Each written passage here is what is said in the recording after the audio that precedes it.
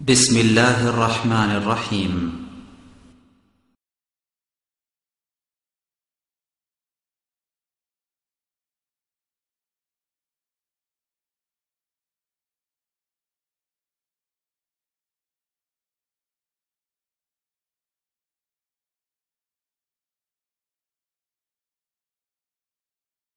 السلام عليكم ورحمة الله. إن الحمد لله نحمده ونستعينه من يهده الله فلا مضل له ومن يجلل فلا هادي له وأشهد أن لا إله إلا الله وحده لا شريك له وأشهد أن محمدا عبده ورسوله أما بعد فأعوذ بالله من الشيطان الرجيم. الزانية والزاني فاجلدوا كل واحد منهما مئة جلدة. عن أبي هريرة رضي الله تعالى عنه قال قال رسول الله صلى الله عليه وسلم সালাসাতুল্লাই করলে মোহাম্মুল্লাহ তালাই আমল কেয়ামা ওলাইজাকিহিম ওলাইনসুর ইলাইহিম ওলাহম আজাবুন আলিম, আল মুসবেল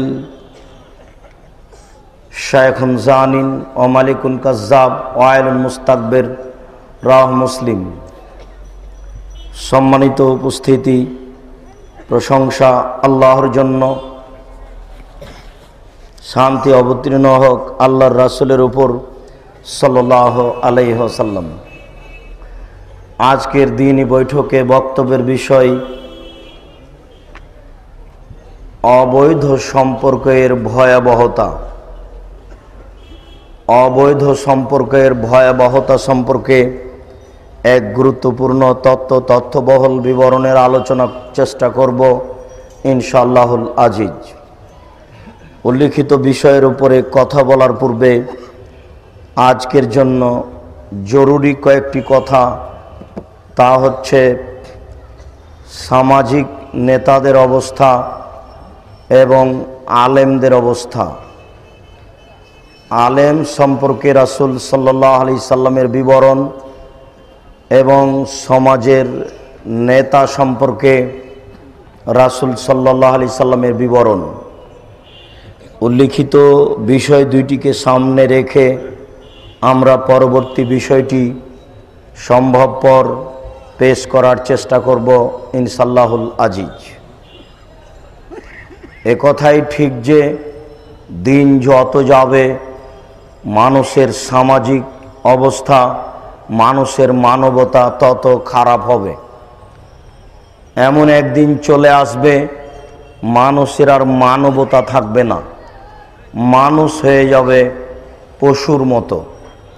সেই দিন হয়তো আর দেরি নেই।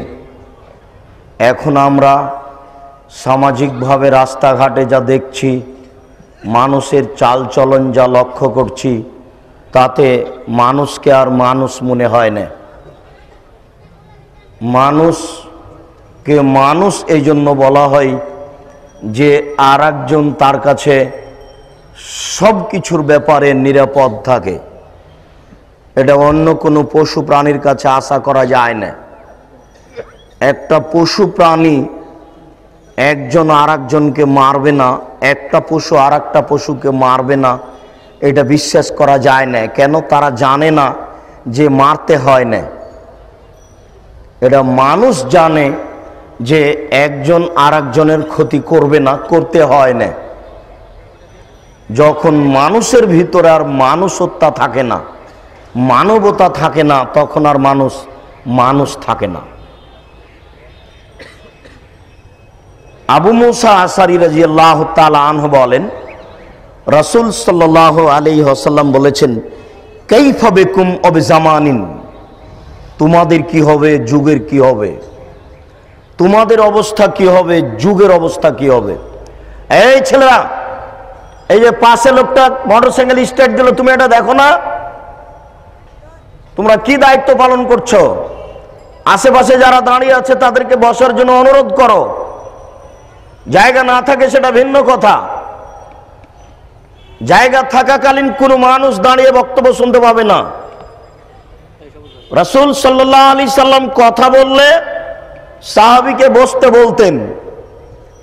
অতএব আমাদের পক্ষ থেকে জোরালো অনুরোধ থাকছে যে, আমরা সচেতন, সম্মানী, শিক্ষিত মানুষ নিজ নিজ ভদ্রতা বজায় রেখে অল্প সময় বসে আলোচনা শোনার চেষ্টা করব।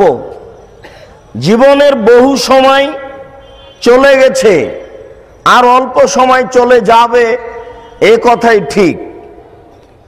কথা বলার পূর্বে আপনার ব্যস্ততাকে লক্ষ্য করে একটা কথা বলি। আবু হরাইরা রাজিয়াল্লাহ আনহু বলেন রাসূল সাল্লাল্লাহু আলাইহি ওয়াসাল্লাম বলেছেন, আল্লাহ তাআলা বলেন, ইয়াবনা আদম লাও আতাইতানি শায়, লাম লাও ইয়াদাকা গেনানু আসুদ্ধ ফাকরাক, আদম সন্তান, তোমরা যদি আমার জন্য কিছু সময় বের করো, আল্লাহ বলছেন, অথচ আল্লাহর ঠেকা বাঁধেনি। সারা পৃথিবীর মানুষ যদি পাপ করে তা আল্লাহর কিছু আসে যায় না। সারা দুনিয়ার মানুষ যদি নেকি করে তো আল্লাহর কিছু আসে যায় না। আল্লাহ বলছেন যে, দেখো আদম সন্তান, আমার জন্য যদি কিছু সময় বের করো, তাহলে আমি তোমার দুইটা কাজ করব। এক, তোমার হাতকে আমি টাকা দিয়ে পূর্ণ করে দেবো। অশুদ্ধ ফাঁকরাক তোমার দারিদ্রতা বন্ধ করে দেব। এই দুইটা আমি কাজ করব, তুমি যদি আমার জন্য কিছু সময় বের করো। তাফাল। আল্লাহ তালা বলছেন, আদম সন্তান, শোনো, যদি আমার জন্য কিছু সময় বের না করো, তো আমরা ওই এদাকা সগলাম তোমার হাতকে আমি ব্যস্ততা দিয়ে পূর্ণ করে দেবো। অলা মাসুদ্ধ ফাঁকরাক তোমার দারিদ্রতা বন্ধ করব না। কোটি থেকে কোটি টাকা হলেও তোমার দারিদ্রতা বন্ধ হবে না। এই যে রাস্তাঘাটে দোকানপাটে আছে, লোকগুলিকে জিজ্ঞাসা করেন যে, আব্দুর রাজাক সাহেব, আসবেন? চলেন, একটু কথা শুনে আসি। তার উত্তর হবে, আমি ব্যস্ত। এই কথায় আল্লাহ তালাও বলছেন আদিসে কুদ্সি। আল্লাহ রাসুল বলছেন যে ইয়াবনা আদম, হে আদম সন্তান আমার জন্য যদি কিছু সময় বের করো, তাহলে আমি তোমার দুইটা কাজ করব। এক, তোমার হাতকে আমি টাকা দিয়ে পূর্ণ করে দেব। আপনি ভাবিয়েন না যে খুব বেশি টাকা হলে আপনি ধনী। এটা নয়। আয়েশা রাজিয়াল্লাহ তালা আনহা বলেন সাল্লাম বলেছেন, লাইসাল আরাজ। টাকা বেশি হলে মানুষ ধনী হয় না। ওলা কিন্নাল গেনা, গেনার নাফস, যার মন বড় সেই ধনী।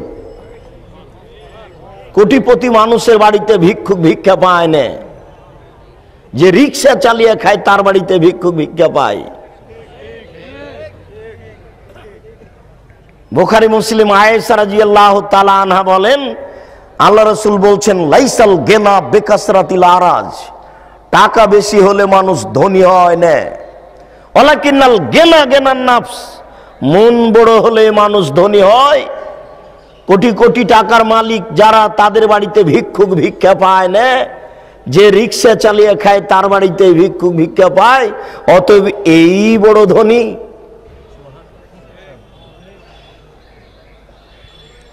রাসুল সাল্লাহ আলহিহাসাল্লামের কথাকে মূল্যায়ন করতে হবে। হিসাব করতে হবে। তাহলে বোঝা যাবে, তাহলে নিজেকে চিনা যাবে, আল্লাহকে চিনা যাবে। শুনুন, কোন একদিন সকালে আল্লাহর নবী বলছেন, চারশো কিলোমিটার পথ পায়ে হেঁটে যেতে হবে যুদ্ধে, যদি ব্যবস্থা না হয়, কে কি দান করতে পারো? তখন উমার রাজি আল্লাহ বললেন, আল্লাহ রসুল, আমার বাড়িতে যে অর্থ সম্পদ রয়েছে, আমি তার অর্ধেক দিলাম। বাক্কর সিদ্দিক রাজি আল্লাহ বললেন আল্লাহ রসুল, আপনাকে আর আল্লাহকে বাড়িতে রেখে আমার যা আছে সবই দিলাম। তখন উসমান রাজি আল্লাহ বললেন আল্লাহ রসুল, তাবুকের যুদ্ধে যত মানুষ যাবে, সমস্ত মানুষের অর্ধেকের খাওয়া খরচ, যাতায়াত খরচ আমি উসমান দিব।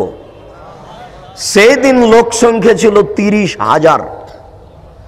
পনেরো হাজার লোককে উসমান রাজি আল্লাহ তিন মাস খাওয়াবেন এবং পনেরো হাজার লোককে পনেরো হাজার উঁট দিবেন। এবার উসমান এখানে, উমার রাজি আল্লাহ তালানে এখানে, আর আউবাক্কর সিদ্দিক রাজি আল্লাহ তালানে এখানে। কে সবচেয়ে বড় ধনী দেখেন?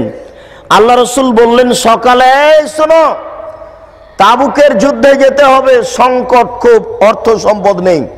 কে কি দান করতে পারো? তো সাড়া দিলেন প্রথমে উমার। উমার রাজি আল্লাহ বলেন, আল্লাহ রসুল, আমার যে অর্থ সম্পদ রয়েছে তার অর্ধেক দিলাম। তখন আউ বাক্কার সিদ্দিক রাজি আল্লাহ তালাহ বললেন আল্লাহ রসুল, আপনাকে আর আল্লাহকে বাড়িতে রেখে আমার যা ছিল সবই দিলাম। আর উসমান রাজি আল্লাহ তালাহ বললেন, আল্লাহ রসুল, যত সৈন্য সামন্ত যাবে, তার অর্ধেকের যাতায়াত খরচ, খাওয়া খরচ আমি বহন করব। এবার বলেন, কে সবচেয়ে বড় ধনী? আউবাক্কা সিদ্দিক রাজি আল্লাহ তালাহ বড় ধনী। আউবাক্কা সিদ্দিক রাজি আল্লাহ তালাহ যে বাক্য বলেছেন, এই বাক্যকে ডিঙ্গিয়ে যাওয়ার মতো কেয়ামত পর্যন্ত মানুষের হাতে কোনো পথ হবে না। আউবাক্কর সিদ্দিক রাজি আল্লাহ তালানোর বাক্যকে ডিঙ্গিয়ে যাওয়ার মতো মানুষের ক্ষমতা নেই।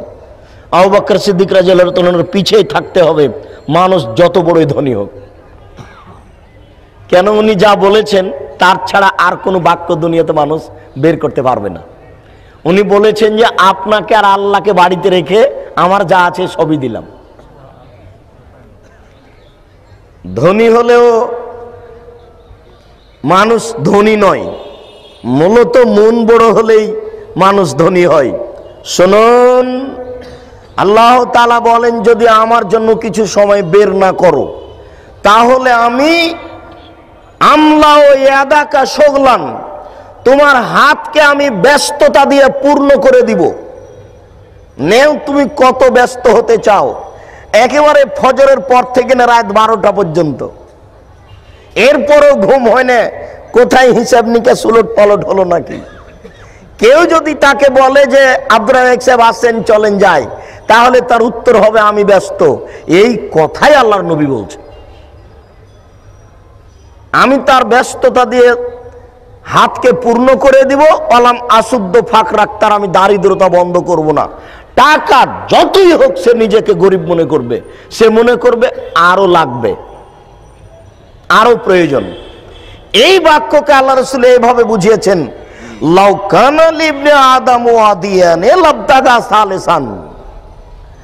আদম সন্তানের যদি এই বাংলাদেশের মতো দুইটা বাংলাদেশ হয়ে যায়, ঢাকা শহরের মতো যদি দুইটা শহর আদম সন্তানের কারও হয়ে যায়, তাহলে লাবদাগা সালেসান, তার মনটা চাইবে যে আরেকটা হতো। বোখারি, মুসলিম। এরপরে আল্লাহ রসুল বলছেন যে তোরাব। আদম সন্তানের অর্থ দিয়ে মন পেট পূর্ণ হবে না, একমাত্র কবর ছাড়া। কবরে গেলেই পেট ভর্তি, আর লাগবে না। আল্লাহর তোমাকে পৃথিবীর অর্থ সম্পদ আত্মভোলা করে রেখেছে। কতদিন?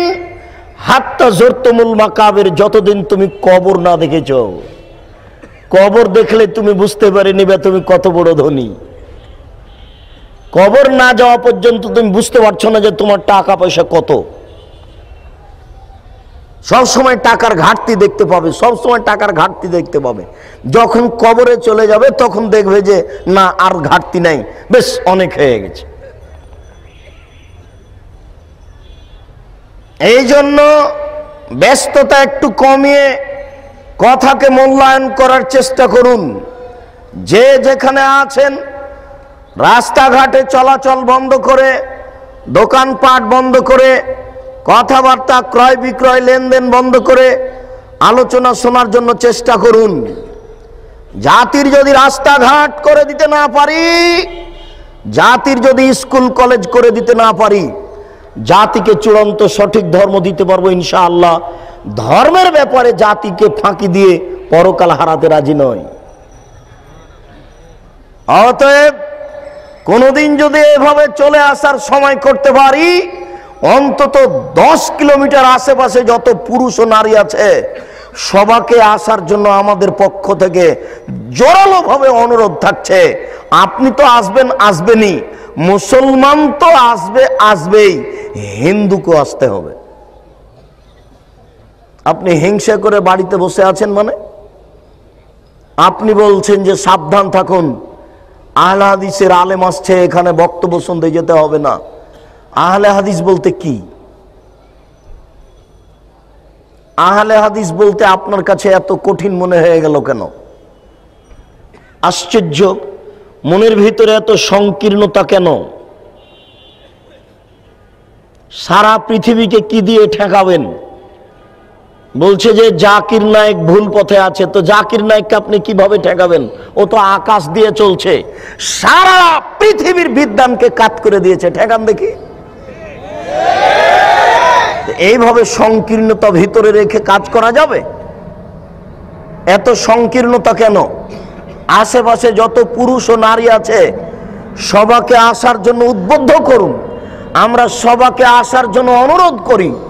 মানুষ সেই জন্য অনুরোধ করি, পশু হলে আসতে বলতাম না। আমরা তাদেরকে এখনও মানুষ মনে করছি এই জন্য যদি চ আল্লাহ রসুল তাদেরকে কঠিনভাবে দেখেছেন, দেখেন আপনাকে আমি কয়েকটা বিবরণ পেশ করছি। দেখেন এইসব মানুষকে আল্লাহ রসুল কি বলছেন। আল্লাহ রসুল বলছেন যে কেইভাবে কুম অবে জামানিন? তোমাদের কি হবে? যুগের কি হবে? তোমাদের কি হবে? যুগের কি হবে? ইগর ভালো নাশ গারবালা আতান যেদিন মানুষের উপরে যে কোনো অন্যায় অত্যাচার করা হবে, সেদিন কি হবে? যেদিন মানুষের উপরে যে কোনো অন্যায় যে কোনো অত্যাচার করা হবে, সেদিন কি হবে? কে অত্যাচার করবে? শাসক চেয়ারম্যান, মেম্বার, এমপি, মন্ত্রী, principal, vice chancellor vice chancellor যারা দায়িত্ব পালন করছেন, হেড মৌলানা, আর যারা গ্রাম দায়িত্বশীল, তারা মানুষের প্রতি একেবারে অন্যায়ভাবে নির্যাতন করবে। এই কথা আল্লাহ রসুল বলছেন, ইগর বালুন নাস ও গারবালা আতান যেদিন মানুষের উপরে যে কোনো নির্যাতন করা হবে, সেদিন তোমরা কি করবে? অয়াবকা হুফালাতুন নাস আর নাস। মানুষের মধ্যে থেকে যাবে যারা আগাছা। যারা সমাজের দায়িত্ব পালন করবে তারা আগাছা হবে। আগাছা কাকে বলে? ধানের মধ্যে যেগুলো ঘাস থাকে তাকে আগাছা বলে। যেদিন সমাজের নেতৃত্ব দিবে আগাছা। সেদিন কি হবে? আগাছা যদি নেতৃত্ব দেয় তাহলে তো সমাজের কল্যাণ বুঝে না। ও কি দিয়ে বুঝবে এটা ভালো না মন্দ? চেয়ারম্যান সাহেব বললেন যে, আমার ছবি মূর্তিটা এই রাস্তাতে ঝুলিয়ে দেন। ছবি মূর্তি রাস্তায় ঝুলালে কি হবে, এটা তো তার জানা নাই। জন্মসূত্রেও জানতে পারেনি। কেন? বিভাতে ভুল হয়েছে। কষ্ট নিয়ে কোনো আসে যায় না। ব্যথা নেনার যেতে থাকবেন। রাজাক সাহেব এত কঠিনভাবে আমাকেই বললেন যে, আপনাকেই বলছি। বিবাহতে ভুল হয়েছে। আল্লাহ রসুল যেই সময়তে বিবাহ করতে বলেছেন, সে সময় বিবাহ করা হয়নি। আপনার মেয়ে রাস্তায় হাঁটছে, ওটা হিন্দুর মেয়ে নয়। এখন হাঁটছে, ওটা আপনার মেয়ে, ওটা হিন্দুর মেয়ে নয়। এখন হাঁটছে নগ্ন অবস্থায় ওটা আপনার মেয়ে, ওটা হিন্দুর মেয়ে নয়, ওটা ইহুদির মেয়ে নয়, ওটা খ্রিস্টানের মেয়ে নয়। আপনি মুসলমান হিসাবে কলঙ্ক, আপনি মুসলমান হিসাবে কলঙ্ক, আপনি জাতির জন্য কলঙ্ক, আপনি একজন কাপুরুষ, আপনি একজন কাপুরুষ, আপনি একজন কাপুরুষ। আপনার হাঁটছে। অতএব আপনাকে এই বিষয়ে ভাবতে হবে এবং ফিরে আসতে হবে। কেন হাঁটছে? হাঁটবে কেন? কেন হাঁটছে? হাঁটবে কেন? ওর বাপ মুসলমান, ওর মা মুসলমান, ওর দাদা মুসলমান, ওর দাদি মুসলমান, ওর চোদ্দ গোষ্ঠী মুসলমান। ও হাঁটবে কেন? কেন হাঁটবে? হাঁটবে কেন? কেন হাঁটবে? যে বিবাহতে ভুল হয়েছে। মোহাম্মদ সাল্লাহ আলি সাল্লাম বলছেন এ মা সারা সাবাব মানিস তাতা মিনকুমুল বাদ পালিয়ে দে যাওয়াজ হে যুবক দল, তোমাদের যাদের ক্ষমতা আছে সেজন্য বিবাহ করে। বিবাহ করলে ক্ষমতা লাগে। ক্ষমতা ছাড়া বিবাহ করা ঠিক নয়। আল্লাহ রসুল বলছেন, ইয়া মা সারা সাবাব মানিস্তাতা মিনকুল বাপ ফালিয়াতা জাওয়াজ হে যুবক দল, তোমাদের যাদের ক্ষমতা আছে সেজন্য বিবাহ করে। বিবাহ করলে ক্ষমতা লাগে। ক্ষমতা মানে পেশাবখানা, পায়খানা, গোসলখানা, বৈঠকখানা, মোহর, শারীরিক ক্ষমতা। ফাইনাল ম্যাচটাতে যদি সম্ভব না হয়, আপনাকে বলছে আল্লাহ রসুল, যদি সম্ভব না হয়, যদি ক্ষমতা না থাকে ফালাহে বিসম তাকে রোজা রাখতে হবে, ফাইনাহুল্লাহ বেজা, রোজাই হচ্ছে তার যৌমনকে ঠেকানোর মাধ্যম। ও কাপুরুষ বিবাহ করতে পাবে না, ও কাপুরুষ বিবাহ করতে পাবে না, ও কাপুরুষ বিবাহ করতে পাবে না, ওকে রোজা থেকে থেকে যৌবনকে ঠেকাতে হবে। জাতির ক্ষতি করবে, এমন মানুষের বিবাহ করার সুযোগ নেই। আল্লাহ রসুল নাকচ করেছেন। দুই, সব মেয়েকে বিবাহ করা যাবে না। ইচ্ছা হলেই বিবাহ করতে হবে কথা রাসুল বলেননি। সব মেয়েকে বিবাহ করা যাবে না। তিনি বলছেন, তুনকাহুল মারাতলে আর বাইন মেয়েদেরকে বিবাহ করা হয় চারটে জিনিস দেখে। পুরুষের এটা বৈশিষ্ট্য। পুরুষের এটা চরিত্র, পুরুষের এটা চাল চলন, পুরুষের এটা অভ্যাস, তারা বিবাহ করলে চারটে জিনিস দেখে। এক, লে মা লেহা, মেয়েটা ধনী কি না এটা দেখে। দুই বলে হাসাবেহা মেয়েটা বংশীয় কিনা তিন অলে জামালেহা মেয়েটা সুন্দরী কিনা চার অলে দিনেহা মেয়েটা ধার্মিকে কিনা? আমি মোহাম্মদ সাল্লাহ আলি সাল্লাম ওপরের তিনটে ছেড়ে দিলাম। আমি বলছি, ফাজ ফরবে জাতির দিন, তুমি ধার্মিক মেয়েকে বিবাহ করো। আপনার স্ত্রী যদি ধার্মিক হতো, তাহলে আপনার মেয়ে এখন রাস্তায় আসতো না। ধার্মিকের মান ভিন্ন আছে। আল্লাহ রসুল সাল্লাহ আলি সাল্লাম আল্লাহর পক্ষ থেকে নবী। হোমসি খেলি একটা কথা বলবেন এই কথা নয়। তিনি পরিবেশ জেনে শুনেই কথা বলেছেন এবং সরাসরি আল্লাহ বলতে বলছেন, তাই তিনি বলেছেন। তিন, ক্ষমতা আছে, ভালো কথা। ধার্মিক মেয়েকে বিবাহ করেছেন, ভালো কথা। বাসর ঘরে আর একটা কাজ আছে। ভাবি বাসর ঘর সাজাবে না। ভাবি যদি বাসর ঘর সাজাই তাহলে তো বাসর ঘরের শুরুতি যে না। চাচা তো বোন যদি সাজাই খালা তো বোন যদি বাসর ঘর সাজাই তাহলে তো বিবাহের সূচনাতি জেনা শুরু হলো। কত ভাবি আর কত খালাতো বোন আর কত মামাতো বোন, মনে হচ্ছে যে জেনার কারখানা। নজবিল্লা আলানে তাজনিনে জেনা আহমদ নাজরো। দুই চোখের জেনা হচ্ছে চোখ দিয়ে দেখা। আলোচনানের জেনা হমল ইস্তেমাও। দুই কানের জেনা হচ্ছে কান দিয়ে শোনা। অনেক জেনা হাল বাৎস হাতের জেনা হচ্ছে হা দিয়ে ধরা, জেনার রিলিজাল মাসি, পায়ের জেনা হচ্ছে পা দিয়ে চলা, জেনাল কালতাতনতাস্তাহি অন্তরের জেনা হচ্ছে পরিকল্পনা করা জেনাল লেসানা নুৎক জীবর জেনা হচ্ছে কথা বলা। এই ছেলেটা বাসর ঘরে ঢোকার পূর্বেই যা তার যে মজা কিও কত কথা। আর ওই যে তিন নাম্বার শ্রেণির থার্ড পার্সেন্ট লোকগুলো, ওই কালো বোঝা নিয়ে এসেছে। স্বামী স্ত্রীর একবার ছবি উঠাচ্ছে, একবার আপনার জাতি কিনে ছবি উঠাচ্ছে, একবার মেয়েটাকে ল্যাংটা করে ছবি উঠাচ্ছে, একবার পোশাক পরে ছবি উঠাচ্ছে ঘৃণা লাগে না। আপনি মুসলমান বলে ঘৃণা লাগে না। আপনি নাকি মুসলমান ঘৃণা লাগে না। আপনি নাকি মুসলমান? ঘৃণা লাগে না? ঘৃণা লাগা উচিত? লাগা উচিত। লাগে না কেন? লাগা উচিত। লাগে না কেন? লাগা উচিত। লজ্জা ভিতরে নেই এই জন্য লাগে না। লজ্জায় কাজ করে, লজ্জায় হচ্ছে ইমান। অল ইমানও ফিল জান্না ওলা হায়াও মিনাল ইমান লজ্জায় হচ্ছে ইমান অল ইমান ফিল জান্না লজ্জায় হচ্ছে ইমান আর ইমানই হচ্ছে জান্নাত। লজ্জায় হচ্ছে ইমান আর ইমানই হচ্ছে জান্নাত। মানুষের ইমান পরীক্ষা করা যায় লজ্জা দিয়ে। মানুষের ইমান বোঝা যায় লজ্জা দিয়ে। মানুষের ইমান বোঝা যায় লজ্জা দিয়ে। শুনুন, বাসর ঘর সাজাতে হবে, এই কথাই ঠিক।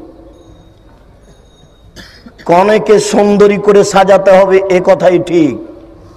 আসমা বিনতে ইয়াজিদ রাদিয়াল্লাহু তাআলা আনহা বলেন আয়েশা তালে আমি আয়েশাকে রাসূলের জন্য সাজালাম। কি দিয়ে সাজিয়েছেন তিনি এ কথা বলেননি? আয়েশা রাজিয়াল্লাহ তালানহা বলেন যে, আমি একটা দোলনাতে খেলাচ্ছিলাম আমার বান্ধবীদের নিয়ে। একদিকে কিছু বান্ধবী, একদিকে কিছু বান্ধবী। মধ্যে একটা রশি বাঁধা আছে। একদিক উঁচু হলে একদিক নিচু হয়। একদিক নিচু হলে একদিক উঁচু হয়।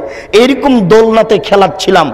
হঠাৎ আমার মা ডাকলেন, আয়েশা, আমি দৌড় দিয়ে আসলাম। আসতেই আমার মুখে হাতে কিছু ধুলোবালি লেগেছিল। তিনি ধুয়ে পরিষ্কার করে দিলেন। এরপরে কিছু আনসারি মহিলাদের কাছে নিয়ে গেলেন। ফাসলাহানি, তারা আমাকে সুন্দরী করে সাজালেন। তিনি বলেননি যে আমাকে কি দিয়ে সাজালেন। বিউটি পার্লারে যেগুলো বৈধ জিনিস রয়েছে, কেমিক্যাল যদি হারাম কিছু থাকে, সেগুলো ব্যবহার করা যাবে না। এছাড়া বিউটি পার্লারে যা কিছু আছে, সব আপনার স্ত্রী ব্যবহার করতে পারে, তবে বিউটি পার্লারে ঢুকতে পাবে না। ওখানে যে মেয়ে আছে, সে মেয়ের সামনে আপনার স্ত্রী মাথার কাপড় নামাতে পাবে না। তার শরীরের কোনো অঙ্গ প্রকাশ করতে পাবে না, হারাম। আপনার স্ত্রী বিউটি পার্লারে ঢুকতে পারে না, পাবে না। আপনার মেয়েও পাবে না।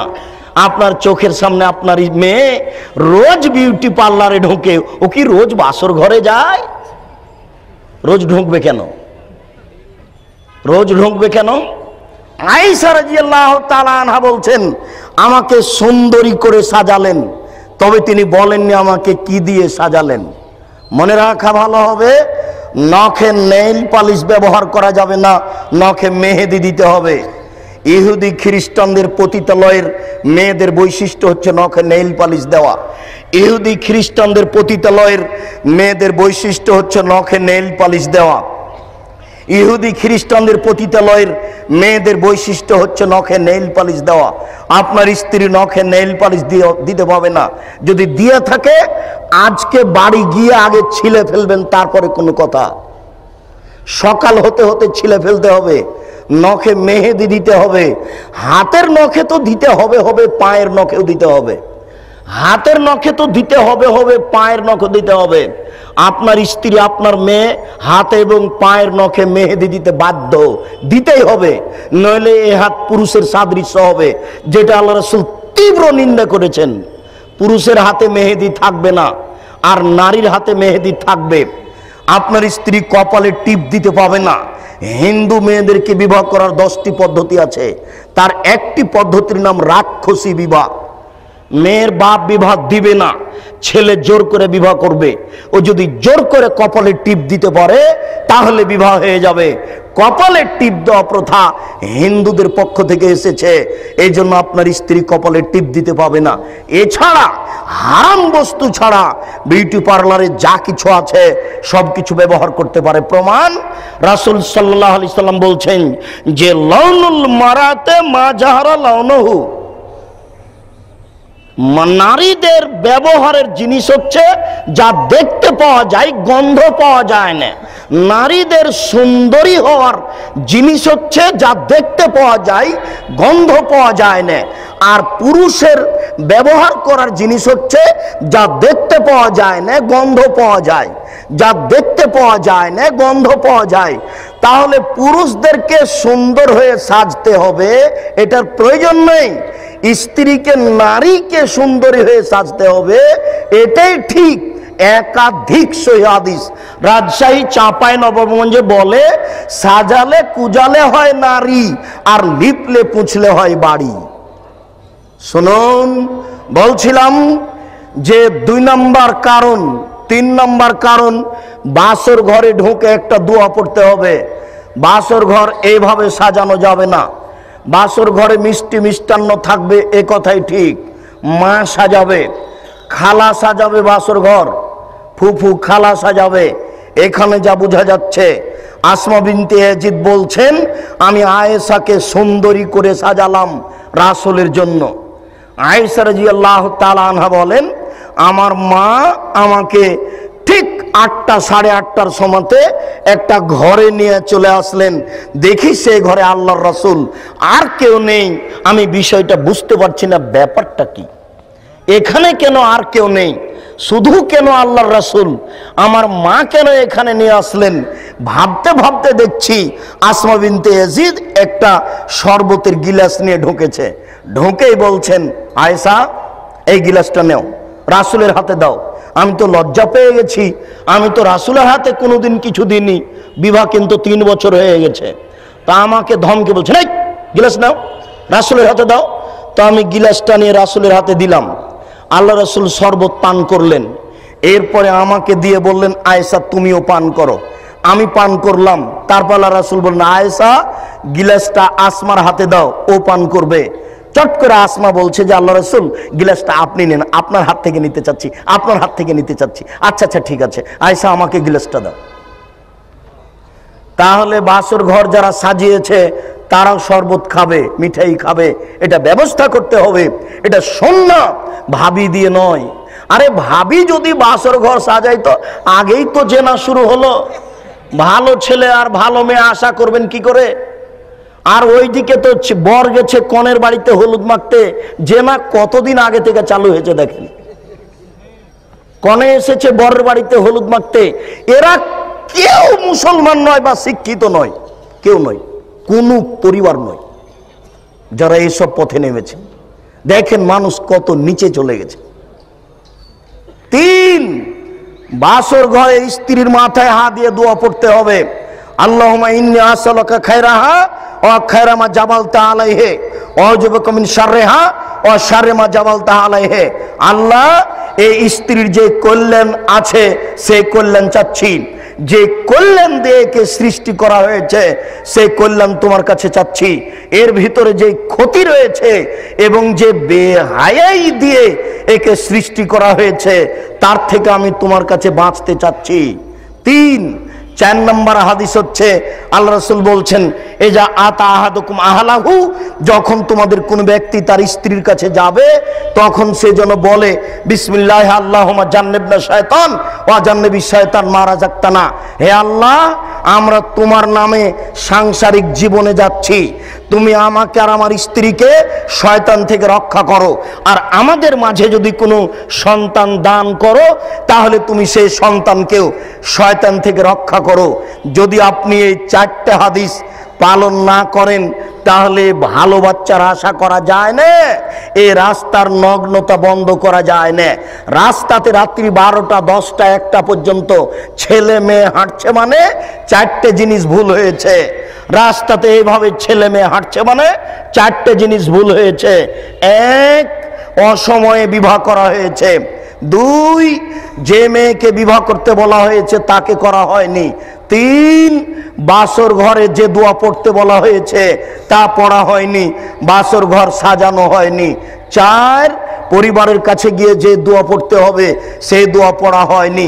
অতএব এই সংসারে যেই ছেলে মেয়ে এসেছে, সেই ছেলে মেয়ের ব্যাপারে ভালো তেমন আশা করা যায় না।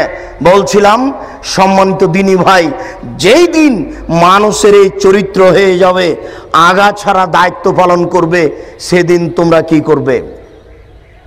এরপরে শুনুন। আনাস রাজি তালাহ বলেন, রাসুল সাল্লাহ আলি সাল্লাম বলেছেন, একসরল হারাজ, সমাজে মারামারি বেড়ে যাবে, যেখানে সেখানে মারামারি।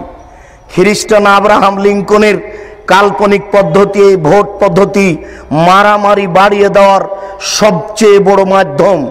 স্কুল, কলেজ, রাস্তাঘাট, যেখানে সেখানে মানুষ মায়ের মুখী মারামারি বেড়ে যাবে। এই কথা বলতে বলতে আল্লাহ রসুল বলছেন, হাত্তা একতলা জারাহু, প্রতিবেশীকে হত্যা করবে। ওয়াইবনা জারেহি, প্রতিবেশীর ছেলেকে হত্যা করবে। ওয়াইবনা আম্মেহি, চাচার ছেলেকে হত্যা করবে। ওয়াজা কারামাতেহি আত্মীয় স্বজনকে হত্যা করবে। এইভাবে বলতে বলতে অফিরে হয়াতিন আবাহু বাপকে হত্যা করবে। যখন আল্লাহ রসুল এই কথা বললেন তখন সাহাবিগণ বলছেন, আল্লাহ রসুল লাইসাফিজ জালেকা জামানে ওকুলুন বলেন কি আপনি? সেই কালে কি আমাদের বিবেক থাকবে না? বাপকে হত্যা করব মানে? বলেন কি? সেই সময়ে কি আমাদের বিবেক থাকবে না? তখন আল্লাহ রসুল বলছেন, লা, না, বিবেক থাকবে না। তুনজাও আকসারো ওকুলে জালেকা জামান, সেই যুগে প্রায় মানুষের বিবেককে তুলে নেওয়া হবে।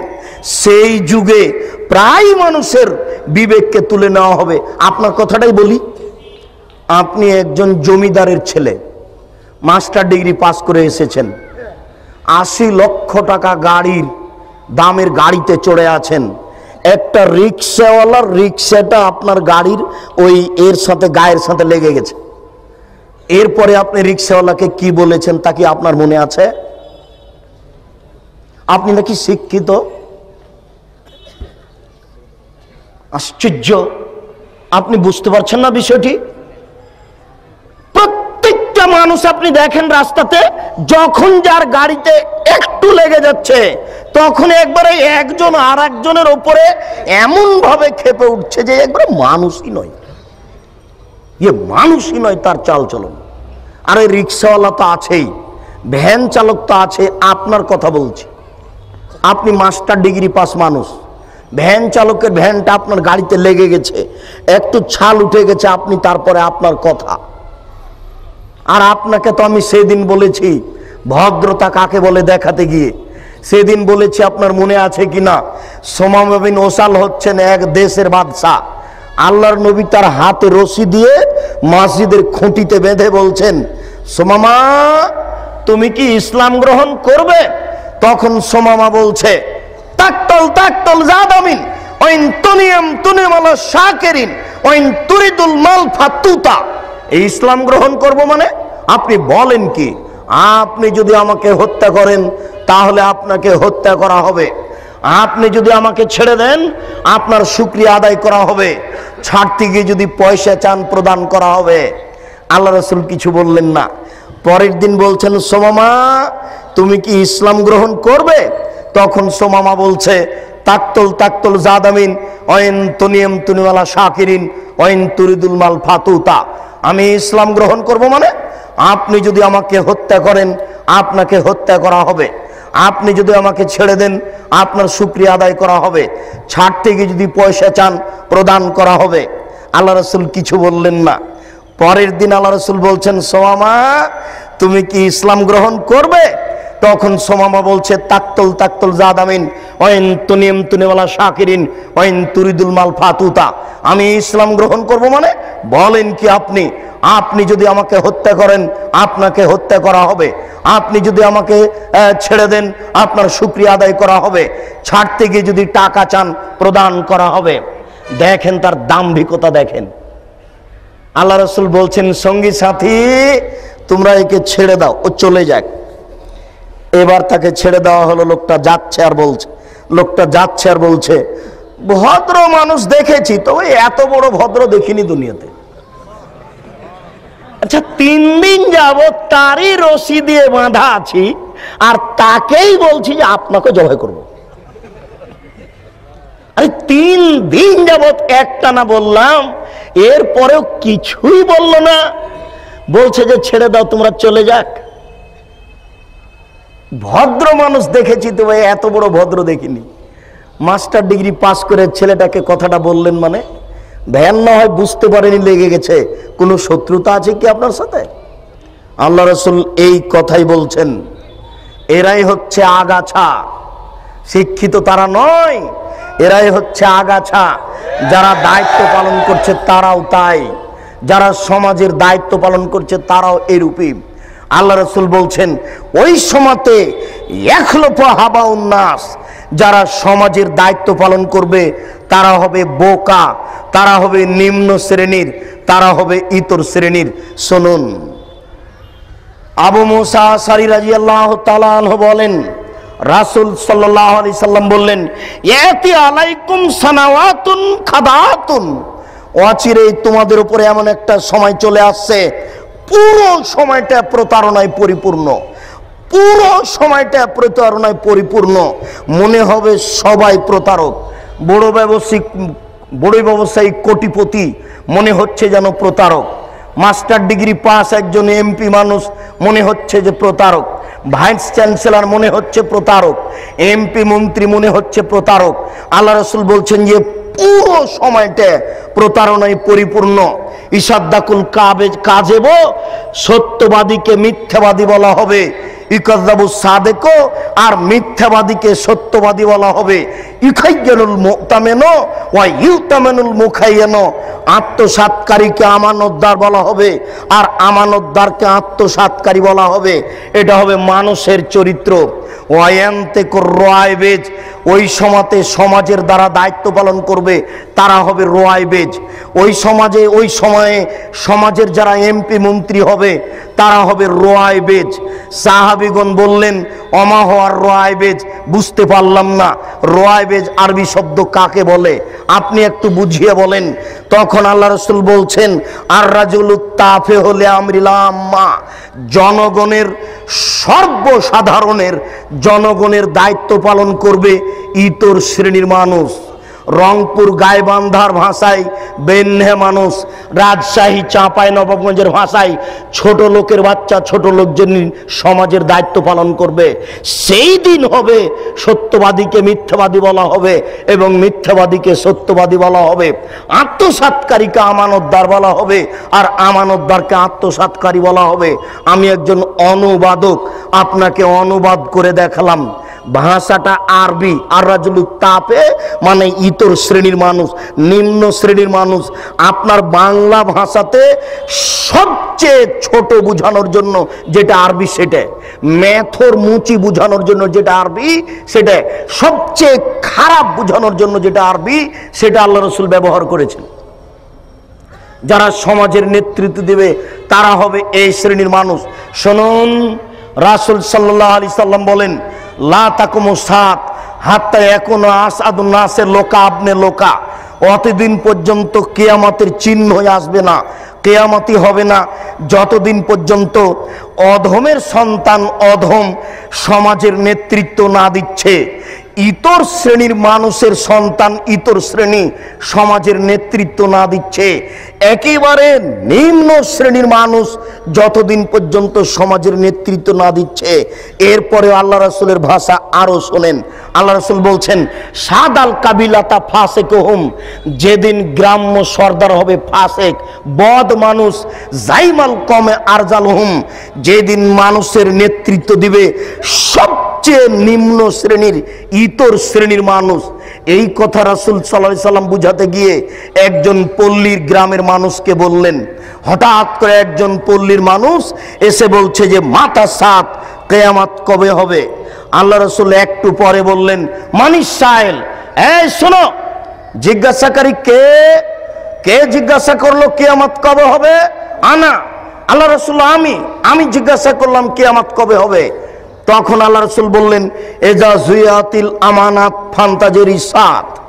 যেদিন মানুষের টাকা পয়সা আত্মসাৎ করা হবে, ধ্বংস করা হবে, সেই দিন কেয়ামত হবে।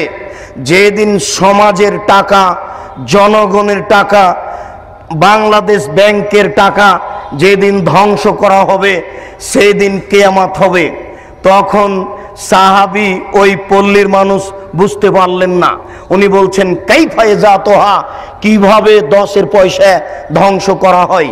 তখন আল্লাহ রসুল বললেন এ যা উচ্ছেদ আল গাইরে আহালেহি ফান্তাজেরি সাত যেদিন অযোগ্য মানুষের হাতে, অথর্ব মানুষের হাতে, ইতর শ্রেণির মানুষের হাতে, নিম্ন শ্রেণির মানুষের হাতে দায়িত্ব তুলে দেওয়া হবে, সেদিন তোমরা ভাবিও যে এখন দশের পয়সা ধ্বংস করা হবে। আপনাদেরকে সামাজিকভাবে নেতৃত্ব পর্যায়ের একটা অবস্থা আপনার সামনে আমি পেশ করে দেখালাম।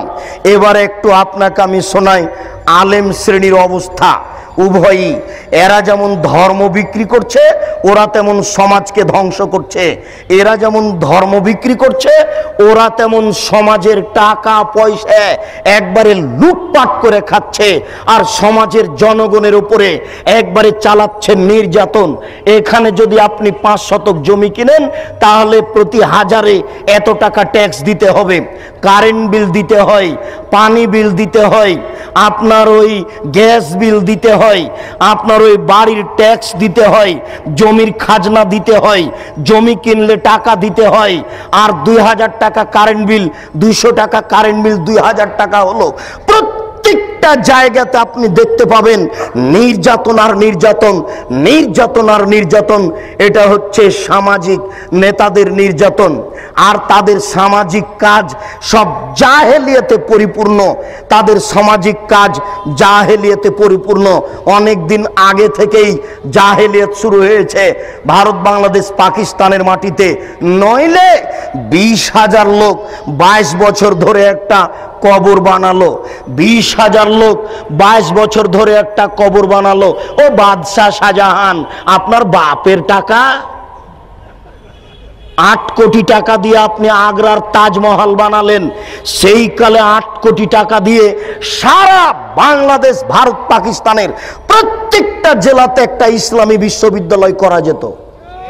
টাকা কার? কে জবাব দিবে? লালন সার নামে সেতু হলো কেন? কুষ্টিয়ার পাকসি সেতু হবে। আমার টাকাও সেখানে আছে। লালন শাহ আবার কে? হিন্দু কি মুসলমান আমি নিজেই জানি না। কার নামে আমার সেতু হবে মানে? কারও বাপের টাকা নাকি? এটা আমার টাকা। নিজের বাপের টাকা দান করে লালন শাহ সেতু করতে হবে। সাবধান থাকুন। ও বাদশাহ শাহজাহান, টাকার জবাব দিতে হবে। স্ত্রী মারা গেছে, কবর দিয়ে রেখে আসেন বেটা।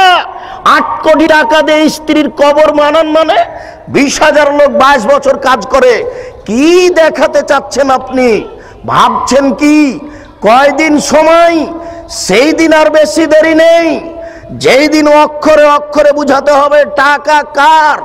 এসব টাকা কার? আশ্চর্য। কেন হবে ব্যক্তির নামে বিমানবন্দর? কেন হবে ব্যক্তির নামে সেতু? কেন হবে এসব অন্যায় যেখানে সেখানে? এত ছবি মূর্তি রাস্তাঘাটে কেন হবে? আমি মূর্তি গড়তে এসেছি। আমি মূর্তি ভাঙতে আসি আমি মূর্তি গড়তে আসিনি। আমি মূর্তি ভাঙতে এসেছি। আমি মুসলিম চির রণবীর আমি মরণকে করি না ভয় মরলে শহীদ বাঁচলে গাজী। আমার উভয় সমান। আমার জেল যতটুকু, সেল ততটুকু। বাইরে যতটুকু, ভিতরে ততটুকু। জেলে যতটুকু, সেলে ততটুকু, বাহিরে যতটুকু, ভিতরে ততটুকু। আমি মুসলিম চির রণবীর মরণকে করি না ভয়। আমি মাথায় করে মূর্তি রাস্তায় নিয়ে যেতে পারি না। তুমি কা পুরুষ তুমি কা পুরুষের বাচ্চা, তোমার শরীরে পুজ আছে। তোমার শরীরে পুজ আছে, তোমার শরীরে রক্ত নেই। তোমার শরীরে যদি রক্ত থাকতো, তাহলে এটা মুসলিম রক্ত। এটা হচ্ছে মুসলিম গোস্ত, এটা মুসলিম রক্ত, এটা মুসলিম গোস্ত। এটা হচ্ছে ইব্রাহিমের রক্ত। ইব্রাহিম আলাইসাল্লাম লাথি মেরে ছবি মূর্তি ভেঙে চৌচির করেছেন। আমার নবী মোহাম্মদ সাল্লাম লাঠি হাতে করে কাবা ঘরে ঢুকলেন। ঢুকে বলছেন, জাল হাক, এসেছে সত্য অজাহাকাল বাতিল, চলে গেছে মিথ্যে, ইন্নাল বাতিলা নিশ্চয় মিথ্যে, কানা জাহুকা, চিরদিন মিথ্যে। এই বলে লাথি মেরে সব বাপের ছবি মূর্তিকে ভেঙে চৌচির করে দিলেন। আর আপনি কাপুর সন্তান, মাস্টার ডিগ্রি পাস ছেলে, আপনি কি করে রাস্তাঘাটে মূর্তি তৈরি করলেন? আপনি কি করে ঢাকা বিশ্ববিদ্যালয়ের মাঠে, রাজশাহী বিশ্ববিদ্যালয়ের মাঠে, যেখানে সেখানে মূর্তি তৈরি করলেন? আপনার শরীরে রক্ত নয়, ওগুলো পুজ আছে, ওগুলো হাসপাতালে গিয়ে বের করে ফেলেন। ওগুলো দিয়ে লাভ হবে না। এই বিদ্যা দিয়ে লাভ হবে না। সামাজিক কুসংস্কারে একবারে সমাজ পরিপূর্ণ হয়ে আছে। সামাজিক কুসংস্কারে সমাজ একবারে পরিপূর্ণ হয়ে আছে। আশ্চর্য, সারা বাংলাদেশে রাস্তাঘাটে ল্যাংটা মেয়েকে সাজিয়ে দিয়ে লাখ সাবান বিক্রি করা হচ্ছে। এটাই হচ্ছে জাহেলিয়াত। টিভিটা অন করলেই চলে আসে। ল্যাংটা মেয়ে পাউডার বিক্রি করছে। এটাই হচ্ছে জাহেলিয়াত। টিভি অন করলে দেখা যায় নগ্ন মেয়ে চলে আসছে, দাঁতের মাজন বিক্রি করছে। এটাই হচ্ছে জাহেলিয়াত। আপনার এই টিনগুলিতে আছে ছবি, মূর্তি, গরুর, এটাই হচ্ছে জাহেলিয়াত। জায়নামাজে আছে কাবা ঘরের ছবি, এটাই হচ্ছে জাহেলিয়াত। মসজিদের মেহরাবের দুই দিকে লিখা, দুই দিকে আছে কাবা ঘরের টাইলস, এটাই হচ্ছে জাহেলিয়াত। মেহরাবের ডান দিকে আল্লাহ, বাম দিকে মোহাম্মদ, এটাই হচ্ছে জাহেলিয়াত। জন্মদিবস পালন করা জাহেলিয়াত, মৃত্যু দিবস পালন করা জাহেলিয়াত, ছাব্বিশে পালন করা জাহেলিয়াত, একুশে ফেব্রুয়ারি পালন করা জাহেলিয়াত। ষোলো ডিসেম্বর পালন করা জাহেলিয়াত। স্মৃতিসৌধ তৈরি করা জাহেলিয়াত। শহীদ মিনার তৈরি করা জাহেলিয়াত।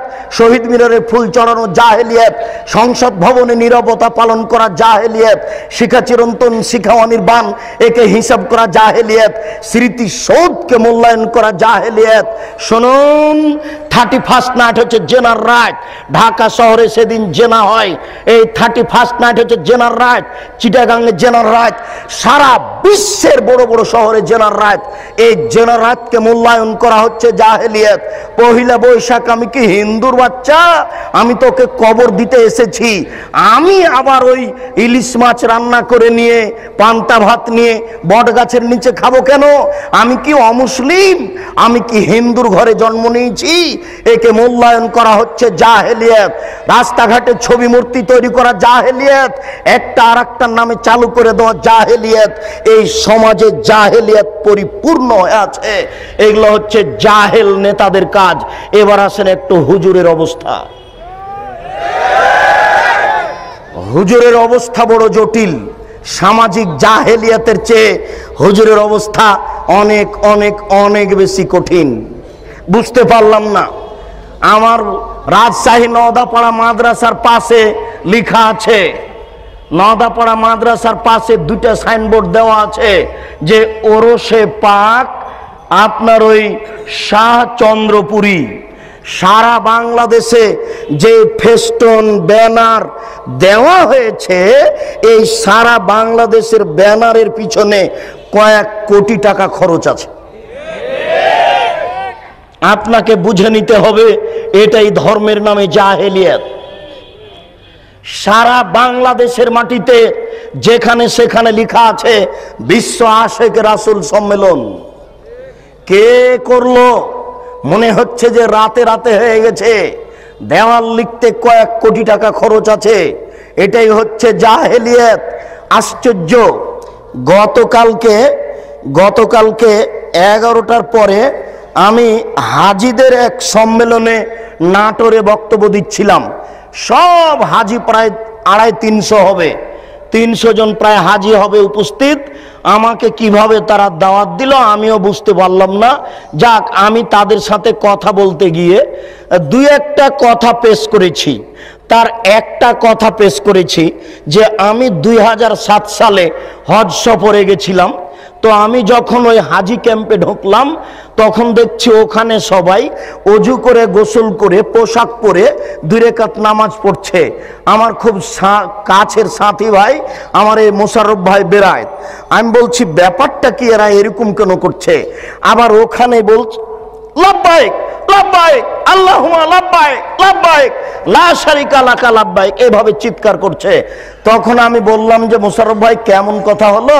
এদেরকে বলা যায় না, আরে তো ভারত, বাংলাদেশ, পাকিস্তানের জন্য এহরাম বাঁধার জায়গা হচ্ছে এলামলাম। যখন বিমানটা এলামলামের উপর দিয়ে পার হবে, তখন বৈমানিকের পক্ষ থেকে লোক এসে বলবে, আপনারা এহরাম বাঁধুন, আপনারা এহরাম বাঁধুন। তখন তাকে বলা শুরু করতে হবে লাভবাহিক উমরাতান। এই কথা বলে এই যে শুরু হবে লাভবাহিক আল্লাহ লাভবাহিক লাভবাহিক লা শারিকা লাকা লাভবাহিক ইন্নাল হামদা ওয়া নি'মাতা লাকা মুলক। লা শারিকা লাক। এই যে চলল একাকার যে যত পারে, একবারে চিলিয়ে একাকার করে দিবে। আল্লাহ রসুল এইভাবে অনুমতি দিয়েছেন। তো এখানে ঢাকা হাজি ক্যাম্পি যে হয়ে গেল এলামলাম তখন আমি একজনকে বললাম যে, ভাই, এটা ঠিক নয়, এটা তো এলামলাম নয়। তখন বলছে, আরে, এটা তো ঢাকা হাজি ক্যাম্প, বাড়ি থেকে যদি বলি তবুও হবে। এখন তাকে কে বলবে যে আপনার যদি বাড়ি থেকেই চলে, তো মোহাম্মদ সাল্লাম কি কলা করতে এসেছিলেন? উনি কি ছাই করতে এসেছিলেন? আপনারটাই যদি চলে, তো উনি কেন আসলেন? আপনারটাই যদি চলে, তো উনি কেন আসলেন? তার কি দাম? তার কি মূল্যায়ন? আশ্চর্য! জোর করে ধর্ম মানছেন? অসম্ভব হতে পারে না, এটাই জাহেলিয়াত। সারা বাংলাদেশে যে সব দেওয়ানবাগি চলছে, এটাই হচ্ছে জাহেলিয়াত। শুনুন এই দেশের মাটিতে যা আপনার চলছে, ওই চিস দিয়ে নকশবন দিয়ে, মুজাদ্দে দিয়ে এই সব সব তরিকা জাহেলিয়াত। উনিশশো আশি সালের জরিপে এই দেশের মাটিতে দুই লক্ষ আটানব্বই হাজার পীর আছে। সব পীরের সব তরিকে হচ্ছে জাহেলিয়ত। এই মাইজ ভান্ডারি হচ্ছে জাহেলিয়ত। আশ্চর্য! নারী পুরুষ একাকার হয়ে জিকির করছে। সেই দিন আমরা গেছিলাম নরসিংদী ওটা নজরপুরা। নরসিংদী নাকি? নজরপুরা একটা গ্রামে গেছিলাম নরসিংদী, তো আমরা নজরপুরা থেকে বক্তব্য দিয়ে আসলাম, পাশে গান বাজনা দিয়ে বাদ্যযন্ত্র দিয়ে নারীর বক্তব্য চলছে, নারীর বক্তব্য। নারী গাজাল করছে, বক্তব্য দিচ্ছে, বাদ্যযন্ত্র চলছে। আরে সংসদ ভবনের মমতাজ বেগম, ডুবি তবলা দিয়ে, ডুবি তবলা দিয়ে জিকির করে আশ্চর্য। আর কোরআন নাকি তিরিশ পারা নয়, নব্বই পারা। তিরিশ পারা হচ্ছে জাহেরি আর ষাট পারা হচ্ছে বাতেনি। এরই নাম হচ্ছে ধর্মীয় জাহেলিয়ত, একে ঠেকাবে কে? এই জন্য আপনাকে বলি, এই হিপসখানা বন্ধ করতে হবে। যেখানে কোরআন, হাদিস, শিক্ষার ব্যবস্থা আছে, সেখানে হিপসখানা খুলতে হবে। এই ছেলেটাকে আপনি কেন হিপস করবে হাফেজ করলেন? এর বয়স হচ্ছে ষোলো বছর। মাথায় একটা উঁচু টুপি দিয়েছে, তার উপর একটা রুমাল দিয়ে মানুষের বাড়িতে মিলাদ করে বেড়াচ্ছে। কোরআন মাজিদ পড়ছে আর ভালো কিছু খাওয়ার দিচ্ছে। দুশোটা টাকা পটে পকেটে দিয়েছে। একবারে খুশি হয়ে গেছে। চিৎকার করে আমার বাপের নামে দোয়া করে চলে আসলো। এ জাতির কি করতে পারে? যে চলিসা করে বেড়াই, যে কুলখানি করে বেড়াই, যে মানুষের দোকান ও- উদ- ইয়ে করে, আপনার উদ্বোধন করে কোরআন মাজিদ পড়ে, যে মানুষের বাড়ি উদ্বোধন করে কোরআন মাজিদ পড়ে, সেই হাফেজ দিয়ে কি হবে? সেই হিপসখানা বন্ধ করতে হবে। এই সামাজিক জাহেলিয়াত, এই ধর্মীয় জাহেলিয়াতের জন্য এই তিন নম্বর শ্রেণির ছেলে দেওয়া হবে না। একেবারে বলিষ্ঠ কণ্ঠের, একেবারে নির্ভীক সেনা, যার অন্তরে কোনো ভয় ভীতি থাকবে না, যার বিদ্যের সামনে পৃথিবীর কোনো বিদ্যা টিকবে না। জাকির নায়কের মতো পৃথিবীর কোনো বিদ্যা তার সামনে টিকবে না, এবং নির্ভীক সেনা হবে। আমি মুসলিম চির রণবীর মরণকে করি না ভয়, মরলে শহীদ বাঁচলে গাজী।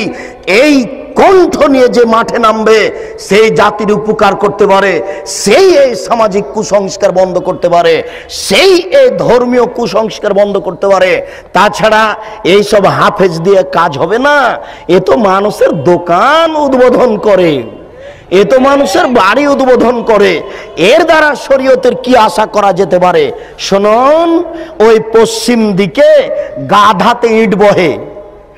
গাধাতে কি বহে? ইট বহে। ভ্যান যেখানে যেতে পারে না, গাধা সেখানে যেতে পারে। অনেকগুলি ইট আপনি গাধার উপরে চাপিয়ে দিয়েছে। এরপরে যেখানে নামাতে হবে, সেখানে গাধা চলে গেল। এবার আপনি কি করেছেন? আপনি বইয়ের দোকানদার। অনেকগুলি কোরআন মাজিদ তার উপরে তুলে দিয়েছেন। ও চলে গেল আপনার কোরআনের দোকানে। তো গাধা কি জানতে পারল যে এখন কোরআন না ইট? ও তো জানতে পারল না যে আমার পিঠে কোরআন আছে না ইট আছে। তো যেই ব্যক্তি শুধু কোরআন মুখস্থ করল, দাওয়াত খেয়ে বেড়ালো, এ তো বুঝতে পারল না যে কোরআন। এই কোরআনের ভিতরে আছে জাল হক এসেছে সত্য, ওয়াজাহাকাল বাতিল চলে গেছে মিথ্যে ইন্নাল বাতিলা নিশ্চয় মিথ্যে, কানা জাহুকা এই দেশের জাহেলিয়তকে লাথি মেরে ডুবিয়ে দিতে চাই। এই দেশের অন্যায়কে যে কোনো মূল্যে উৎখাত করতে চাই।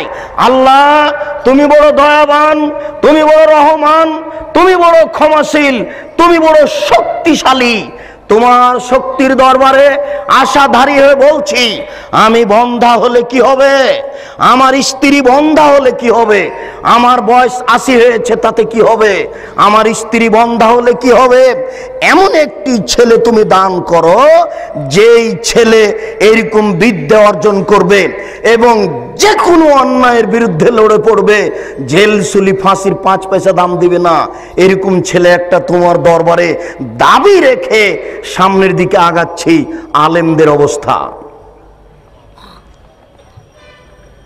আনাস রাজিয়াল্লাহ তাআলা আনহু বলেন, রাসূল সাল্লাল্লাহু আলাইহি ওয়াসাল্লাম বললেন রায় তো লায়লাতান উসরিয়াবি আমি এক রাতে একদা আমি নিজেকে দেখলাম জিব্রাইল আমাকে উপর দিকে নিয়ে চলে যাচ্ছেন। আমাদের নবী বলছেন, জিব্রাইল একদা আমাকে উপর দিকে নিয়ে চলে যাচ্ছেন। যেতে দেখি, যেতে যেতে দেখি অনেক মানুষ।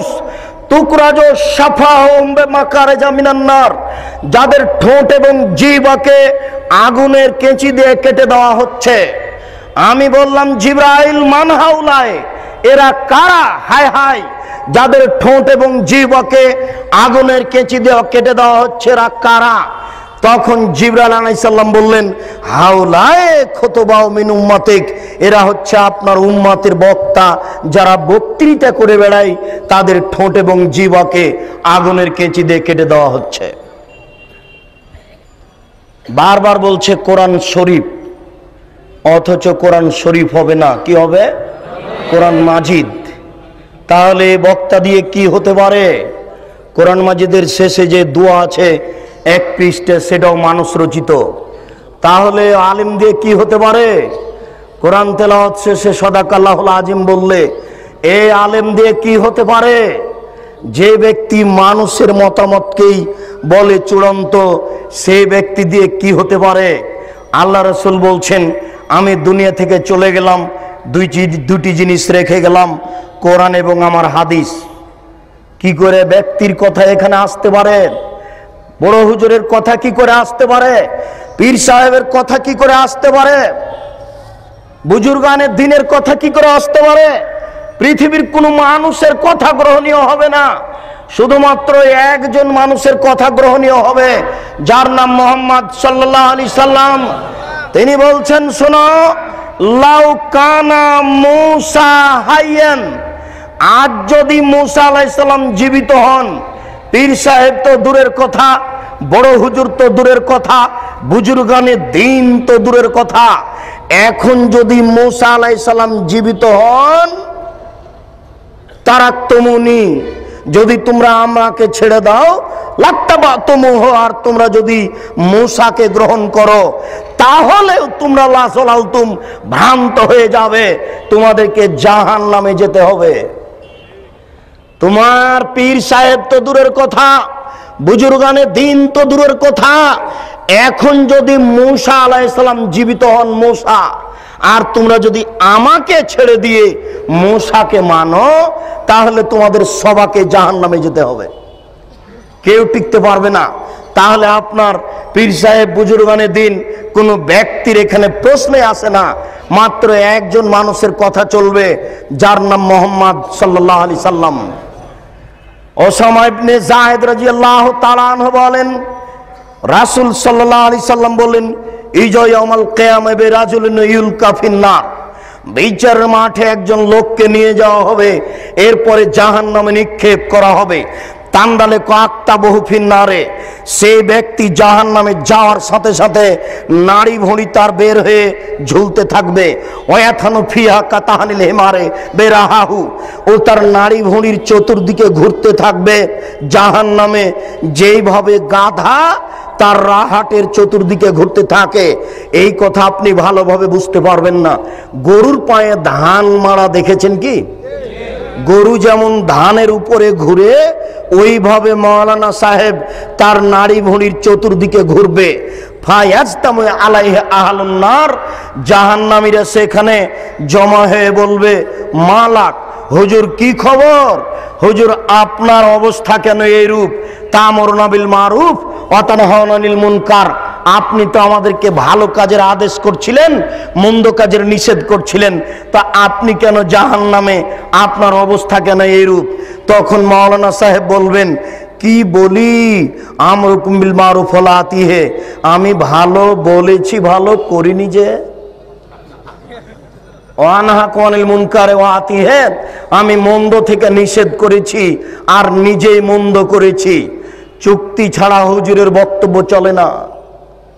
হুজুর বক্তব্যে এখানে ঠিকই দেন।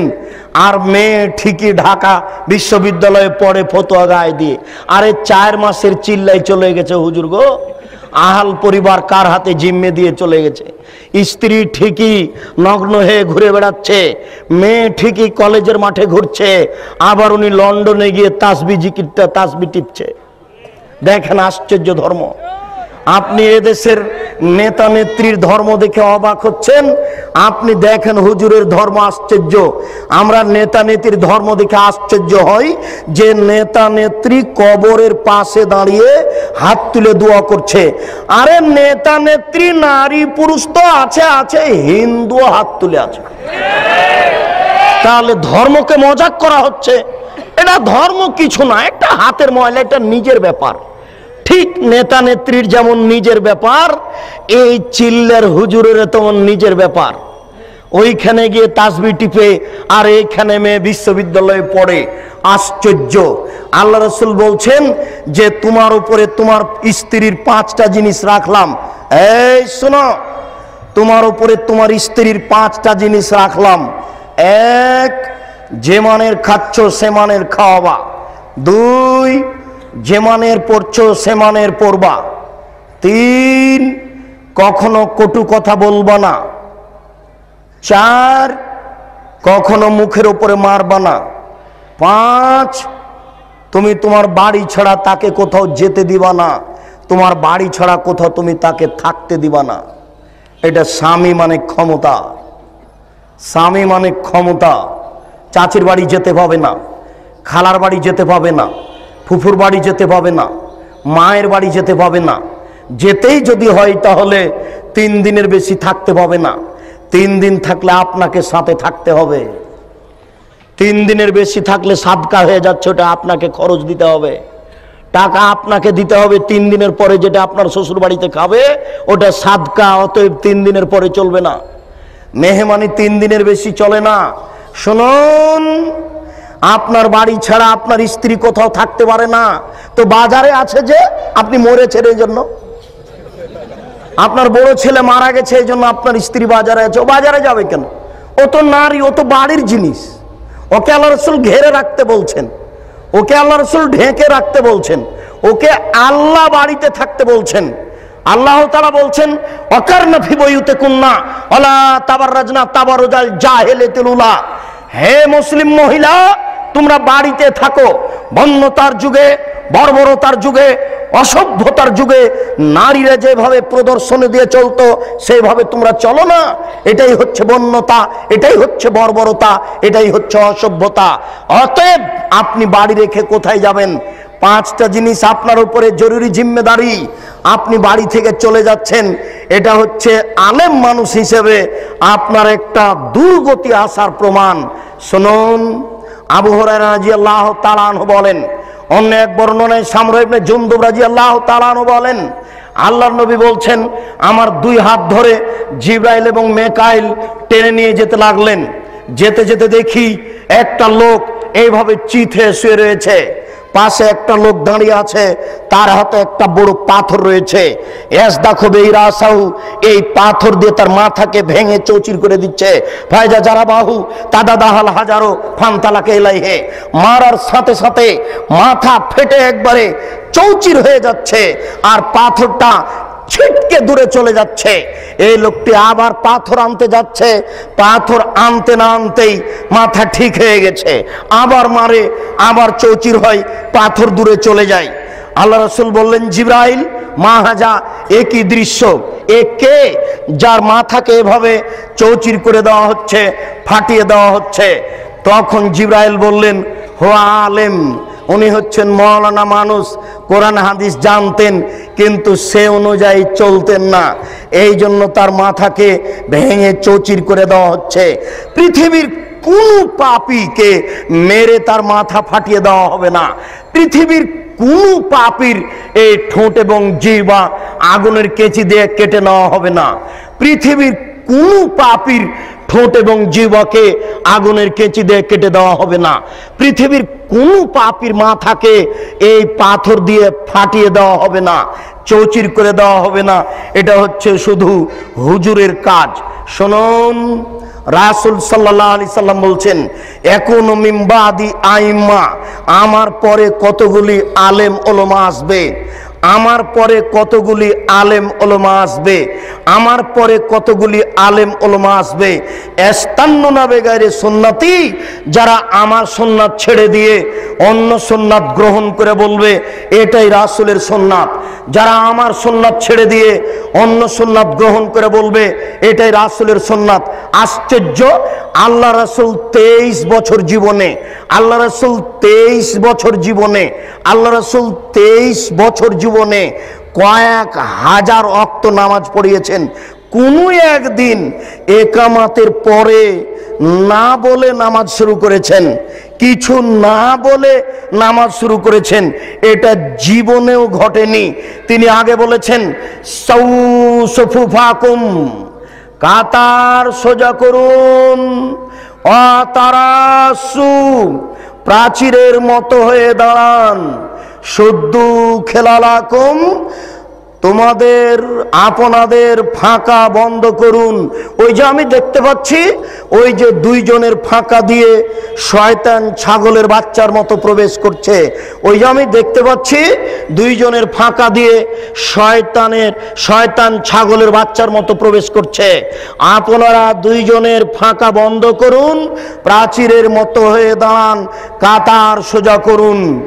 মান সাদ্দা ফুরজাতান বানাল্লাহ বাইতান ফিল জান্না কেউ যদি দুইজনের ফাঁকা বন্ধ করে, তাহলে আল্লাহ তার জন্য জান্নাতে ঘর বানাবেন।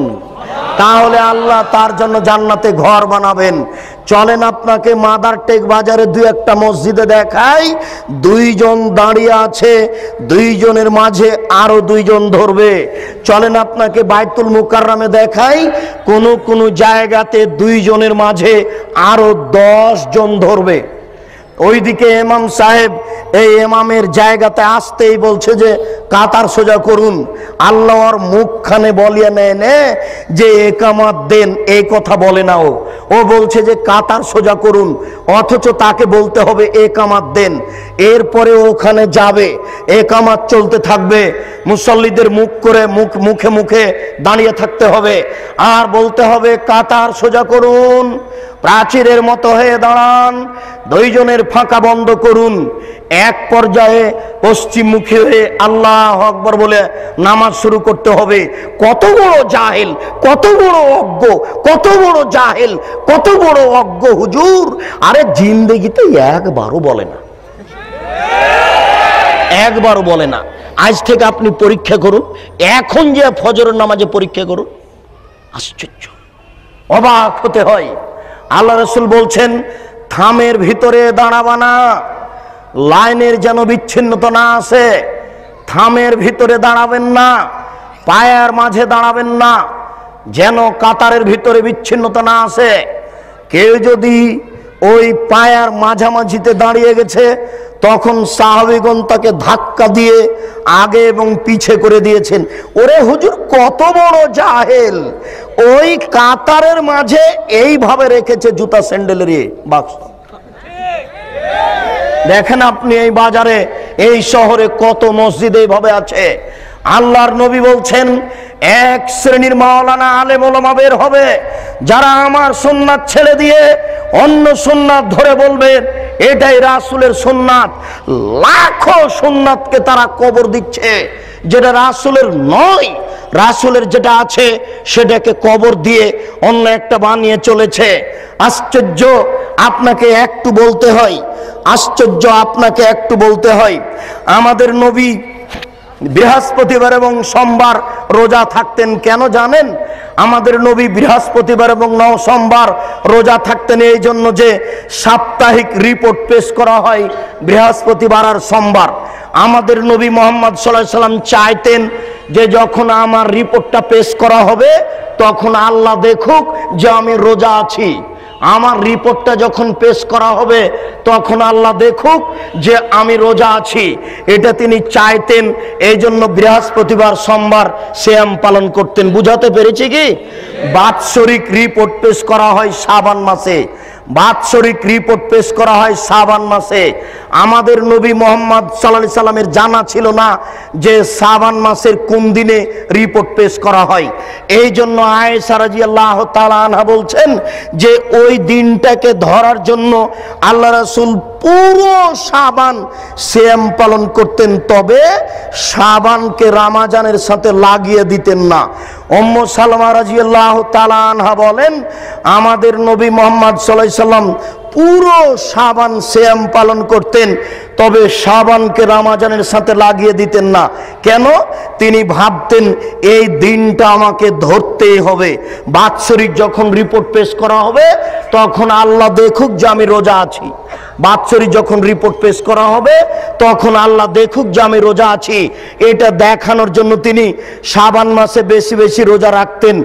ভারত, বাংলাদেশ, পাকিস্তানের এই সব হুজুরেরা জাহেলের পরিচয় দিয়ে কীভাবে কীভাবে জেনে নিল? সেই দিন পনেরোই সাবান। ভারত, বাংলাদেশ, পাকিস্তানের হুজুরেরা কীভাবে কীভাবে জেনে নিল? সেই দিন হচ্ছে পনেরোই সাবান তাই তারা কলকারখানা, অফিস আদালত, কোর্ট কাচারি, শিক্ষা প্রতিষ্ঠান বন্ধ করে রাতে গোসল করে আতর গোলাপ মেখে দিনে রোজা থাকে। অসম্ভব হতে পারে না। আল্লাহ রসুল বললেন, আমার সোননাথ ছেড়ে দিয়ে তারা অন্য সোননাথকে ধরে বলবে। এটাই রাসুলের সোননাথ প্রায় পুরো সাবান শ্যাম পালন করা হচ্ছে রাসুলের সোননাথ আর একদিন শ্যাম পালন করা হচ্ছে ভারতের সোননাথ মানুষের সোননাথ সাতাশে রজব কোরআন মাজিদ নাজেল হয়েছে। আল্লাহ রাসুল গেছিলেন মেরাজে। এই কথার ভিত্তিতে মেরাজের দিন রোজা রাখতে হবে, এটা মিথ্যে। কোরআন মাজিদের আয়াত পেশ করা হচ্ছে মিলাদের জন্য চারটে। আল্লাহ মিলাদ করেছেন, নবী মিলাদ করেছেন, সাহাবিগণ মিলাদ করেছেন। কত বড় ডাহা মিথ্যে কথা সাহাবিদের উপরে। এগুলো সব বাতেনি কোরআন। এগুলো হচ্ছে বাতেনি, বানাওয়াট কথা। অসম্ভব হতে পারে না। শুনুন, সাতাশে রজব রোজা হতে পারে না, পনেরোই সাবান রোজা হতে পারে না। এইগুলি হচ্ছে রাসুলের সোননাথকে ছেড়ে দিয়ে অন্য সোননাথ গ্রহণ করা, রাসুলের আদর্শকে ছেড়ে দিয়ে অন্য আদর্শ গ্রহণ করা। তাই রাসুল সাল্লাহ সাল্লাম বলছেন, ফিহিম রেজালুন, এই আলেমদের মধ্যে কতগুলি আলেম হবে? কলুবহম কলুবু শায়াতন, শায়াতিন ফিজুস মানে ইনসিন। এদের অন্তর হবে শয়তানের অন্তর, এদের দেখতে লাগবে মানুষ। এদের অন্তর হবে শয়তানের অন্তর, এদের দেখতে লাগবে মানুষ। এদের অন্তর হবে, শয়তানের অন্তর। এদের দেখতে লাগবে মানুষ। আল্লাহর রাসুল এক শ্রেণির আলেমকে শয়তান বললেন। আল্লাহ রসুল এক শ্রেণির আলেমের জিভা কেটে নেওয়া হবে, এই কথা বললেন। এক শ্রেণির আলেমকে জাহান নামে নিক্ষেপ করা হবে, তার নাড়ি ভুঁড়ি বের হয়ে ঝুলতে থাকবে, এই কথা বললেন। এক শ্রেণির আলেমকে একবারে চিত করে ফেলে দিয়ে মাথা ফাটিয়ে চৌচির করে দেওয়া হবে, এই কথা আল্লাহ রসুল বললেন। প্রায় হাদিসগুলি বোখারি, মুসলিমের। আপনাকে আমি এই অংশে দেখালাম, সামাজিক জাহেলিয়ত আর আলেমদের জাহেলিয়ত। অতএব সামাজিক জাহেলিয়ত ঠেকানো যেমন জরুরি, আলেমদের জাহেলিয়ত তেমন ঠেকানো জরুরি। কে সব জাহেলিয়ত ঠেকাবে? হুজুর, আপনি টুঙ্গির মাঠে লক্ষ লক্ষ জনগণকে নিয়ে হাত তুলে দোয়া করছেন। আপনার কথা তো খুব ভালো লাগে। যখন আপনি বলেন সুবহান আল্লাহ বললে এত নেকি হয়। আলহামদুলিল্লাহ বললে এত নেকি হয়। আল্লাহ আকবার বললে এত নেকি হয়। সুন্দর করে অজু করে দূরে কাত নামাজ পড়লে অতীতের সব পাপ ক্ষমা হয়ে যায়। আপনার ভালো কাজের আদেশ তো খুব মিঠে লাগল। আপনি যখন হাত তুলে দোয়া করছেন, তখন এ দেশের নেতা নেত্রী সামনে আছেন। এ দেশের লাখো লাখো জনগণ সামনে আছে। আপনি হাত তুলে দোয়া করার পূর্বে বলবেন, শোনন দেশবাসী, দেশের নেতা নেত্রী শুনুন। মহান আল্লাহ যেখানে ভালো কাজের আদেশ করতে বলেছেন, সেখানে মন্দ কাজের নিষেধের কথা বলেছেন। অতএব আমি টুঙ্গির মাঠে মন্দ কাজের নিষেধ করো তো বলতে চাচ্ছি। আলী রাজি আল্লাহ তালান বলেন, রাসুল সাল্লাহ আলী সাল্লাম বলেন, আলী লাতাদুতিম সালান ইল্লা তমস্তাহু। আলী, তুমি ছাড়বে না কোনো ছবি মূর্তি, সবকে ভেঙে খান খান করে দাও। ওলা কাবরান মুশরিফানিলা সয়তাহু ছাড়বে না তুমি উঁচু কবর, সবকে ভেঙে সমান করে দাও।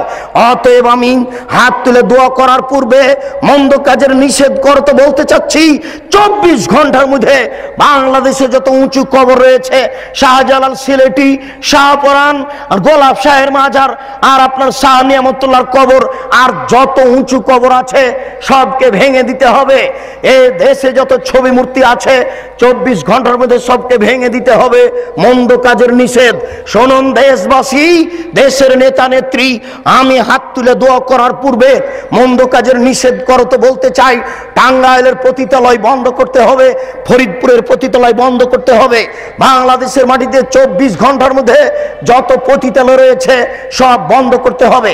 আমি মন্দ কাজের নিষেধ করো তো বলতে চাচ্ছি, বাংলাদেশে যত ব্যাংকিং ব্যবস্থা রয়েছে, চব্বিশ ঘণ্টার মধ্যেই সুদি ব্যাংকিং ব্যবস্থা বন্ধ করতে হবে। হুজুর,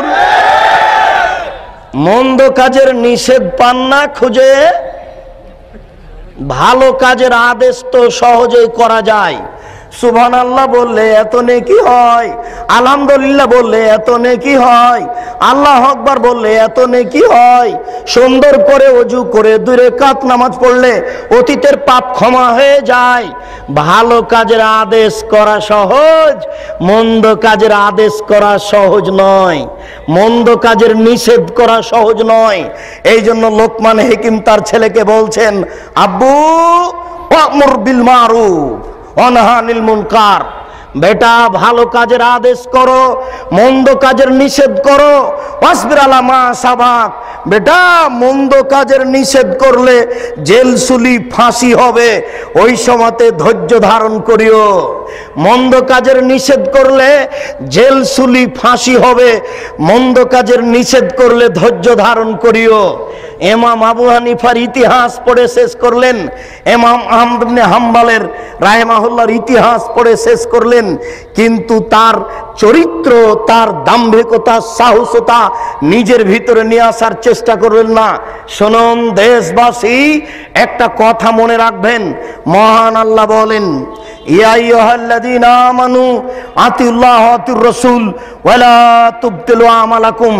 হে পৃথিবীর বিশ্বাসীগণ তোমরা আল্লাহকে মান্য করো, রাসূলের আনুগত্য করো, তোমাদের আমল বাতিল করো না।